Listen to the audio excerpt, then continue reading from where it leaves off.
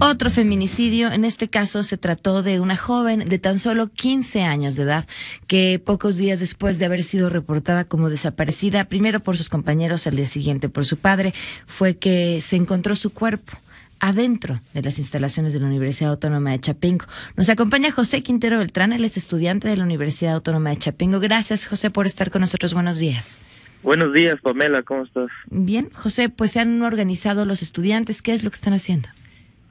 Sí, este, el, reporte comenzó, como bien dices, primero por parte de sus compañeras de cuarto, derivó en, lo que ya conocemos todos y, y justo ahora eh, eh, tenemos el caso en que ayer el Comité Ejecutivo Estudiantil organiza y encabeza una protesta dentro de las instalaciones de la universidad, pero eso es en realidad apenas el comienzo. En el, trasfondo de ello será el durante las vacaciones el trabajo que haremos en un paquete robusto de propuesta para reformas muy fuertes que, deben de suceder en la universidad, ya que vivimos un modelo que está completamente rebasado.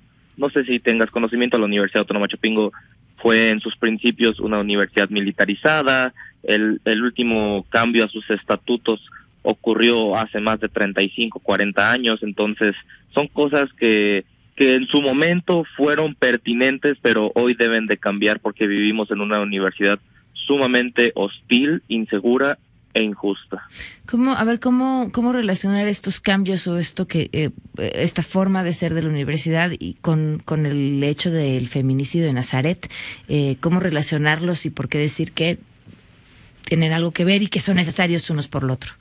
No, por supuesto. Lo que pasa es que dentro de este paquete hay uno que ataca específicamente a las partes de seguridad e integridad. Por ejemplo, eh, dentro de las ideas que ya han brotado y que han sido muy sonadas entre la comunidad estudiantil, está el por fin legislar protocolos contra la discriminación y la violencia que hoy no los tenemos. otra idea que ha brotado es una defensoría de los derechos universitarios que tampoco lo tenemos y la, y la tercera, que es probablemente la que más hace vínculo, es un plan integral de seguridad para la universidad.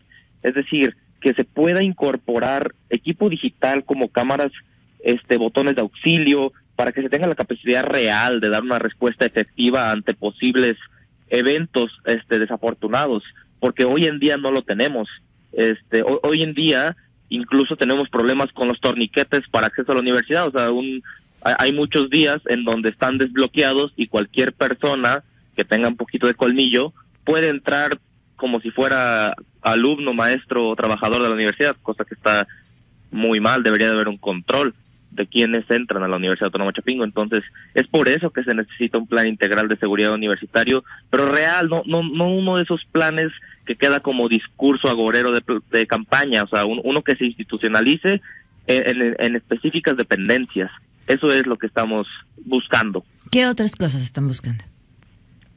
Pues una de las que más nos adolecen es que no se combate a la impunidad dentro de la universidad. Es decir, eh, tenemos algunos casos muy absurdos en donde se es muy estricto con la vestimenta que usamos para ingresar al comedor universitario, pero ante actos de injusticia la universidad se muestra completamente incapaz de tomar acciones contundentes. Entonces, es por eso que es pertinente el tener protocolos contra discriminación y la violencia, los cambios a reglamentos y una defensoría de los derechos universitarios. Porque ante muchos atropellos, ¿eh? y, no, y, no, esa es una de las cosas que yo he querido destacar, las denuncias llevamos haciéndolas desde hace más de tres años. ¿Cómo cuáles, José? ¿Qué, tipo de atropellos? Eh, hay muchos profesores que, que, rebasan la línea en, su relación asimétrica de poder de por sí con los alumnos. Es decir, tenemos profesores en la universidad que desde el inicio del semestre llegan y les dicen a su grupo académico, ¿saben qué? De aquí solo dos personas van a aprobar, pelense por ser una de esas dos personas. Y desde el inicio del, semestre predisponen al grupo a este ambiente hostil en donde tienen que fregar a su compañero, fregar a, quien con quien comparten butaca para poder sobrevivir. Entonces, es, una, es una cuestión estructural que ataca transversalmente a casi todos los ámbitos de la vida universitaria.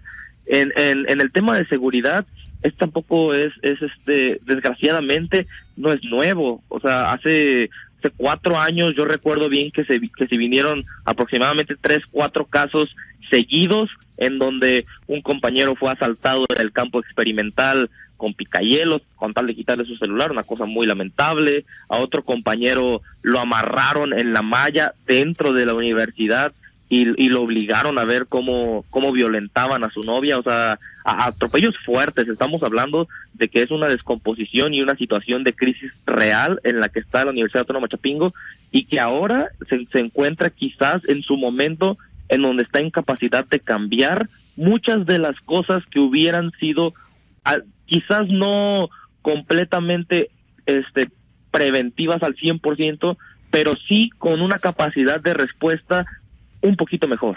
¿Han tenido respuesta? Eh, el, el, el, detalle ahorita es el que depende de muchos actores, es decir, este el Consejo Universitario es uno muy fuerte y dentro del Consejo Universitario de Chapingo eh, tenemos este una cuestión paritaria porque es mitad alumnado y mitad profesores. Entonces tenemos sobre todo alumnado muy de acuerdo con esta con esta propuesta de reforma, con quienes incluso estamos colaborando y, son parte de esta comisión que está formulando las propuestas para la reforma que se quiere presentar una vez iniciado el próximo semestre. La otra parte que es muy importante es la, la administración central, la rectoría este, el rector es nuevo, entró apenas en, en mayo, se ve con buena voluntad y ganas de hacer muchas cosas porque acaba de entrar, pero ni la voluntad ni las ganas son suficientes para responder a la situación de crisis en la que se encuentra Chapingo. esto, esto ya amerita mucho más que las que, que el mero sentimiento y el discurso. Esto amerita acciones inmediatas. Entonces, el, la, la, idea es, hace, hace unos días de hecho se prometió que se iba a crear esa Defensoría de los Derechos Universitarios frente al subsecretario Encinas. Entonces, queremos pensar que, que, al menos esa, esa figura les, les, les muestra, aunque sea vergüenza, como para no cumplir y que sí va a pasar. Pero independientemente de eso, queremos que quede estipulado en una ley, o sea, en, en, en, una legislación universitaria para que sea perpetua y que no sea algo efímero que nada más dure uno o dos años, que fue la buena voluntad y después pase el efecto. Muy bien, pues muchísimas gracias, José, por habernos acompañado. No, muchas gracias a ti, Pamela. Gracias. José Quintero Beltrán, estudiante de la Universidad Autónoma de Chapingo. Y el tema es, ah, es este, lo que ven los estudiantes, pero, pero el tema relacionado con el asesinato de esta chica tiene que ver con un asunto de impunidad. Si no se detiene, se encuentra el culpable y se detiene el culpable, eh, pues de nada servirá hacer, mover, cambiar estructuras y finalmente no hay justicia en este tipo de casos que finalmente pareciera ser la, la, historia que se repite y que es una constante prácticamente en todo el país. Así hasta que podamos conocer y entender cuál es la atención que se le está dando a la familia y por supuesto pues las investigaciones que se están dando en torno a este a este tema tan importante.